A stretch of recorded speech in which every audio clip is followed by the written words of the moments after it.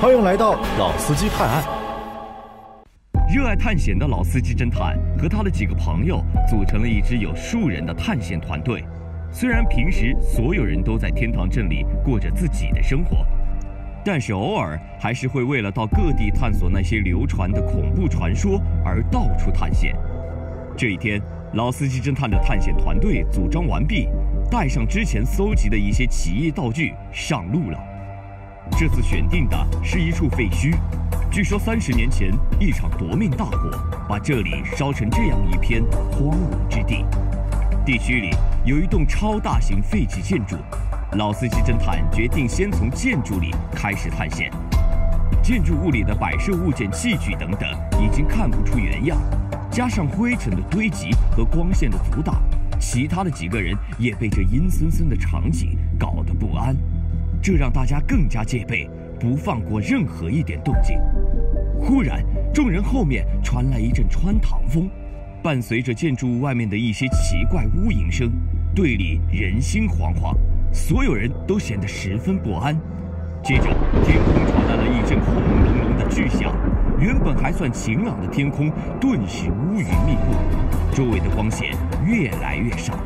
接着，一道光划过天际，一瞬间，众人透过光线看到了前方的东西。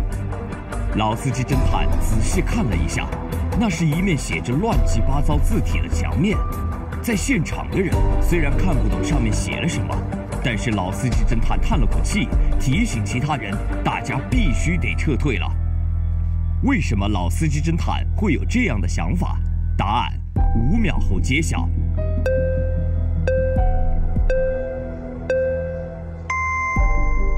晴朗的天空，大家听到打雷后看见闪电。本身就是一件怪异的事情，应该是看见闪电才听到打雷的。以及 “writing on the wall” 这句话源自于旧约但以理书，这一典故也代表着不祥之兆。所以老司机侦探提醒其他人必须立即撤退，马上会有其他事故发生。从废墟出来的老司机侦探来到天堂公园，发现两个女性在争吵。老年女性指着年轻女性说：“她是杀人犯。”老司机侦探仔细观察了一下，逮捕了真正的凶手。究竟谁是杀人犯呢？欢迎在评论区留言，我们下期再见。上期答案：最左边的绑匪买通了狱警，他脚上的锁链被打开了。